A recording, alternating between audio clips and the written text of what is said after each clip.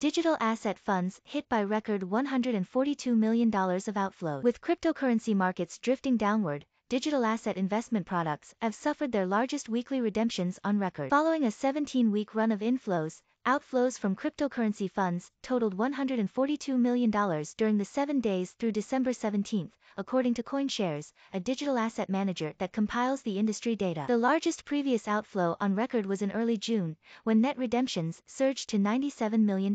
Investment funds focused on Bitcoin, the world's largest cryptocurrency, by market capitalization, had $89 million worth of outflows last week. That's a reversal from the $145 million of inflows the prior week. The report noted a number of factors contributing to the surge in outflow. There have been considerable outflows from all risky assets, not just digital assets, said the report. One trigger may have been the recent signals from the U.S. Federal Reserve that it's accelerating the withdrawal of monetary stimulus that helped to prop up asset prices over the past couple years. CoinShares noted that cumulative inflows into crypto funds hit a record $9.5 billion this year, eclipsing the 2020 total of $6.7 billion.